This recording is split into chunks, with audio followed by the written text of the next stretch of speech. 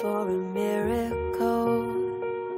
The heart longs for a little bit of hope. Oh, come, oh, come, Emmanuel.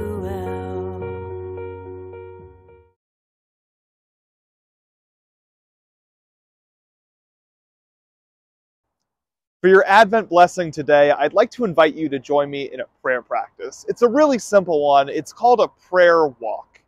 Now, that might sound a little bit strange to combine prayer with movement, but what it, at its core, what a prayer walk is, is really practicing the sacred art of noticing.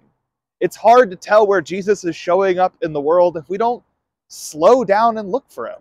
So, what you do in a prayer walk is you walk through your local community Maybe it's through a park or a neighborhood or around a place that's important to you, and you slow down and notice.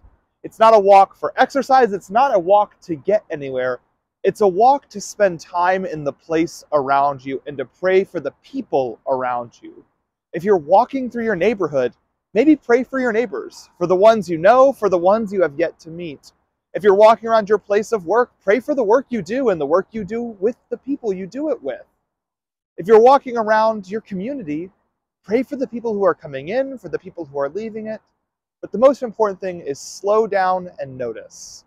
Look for where you can see Jesus in the places around you, in the dirt under your feet, in the faces you see around you.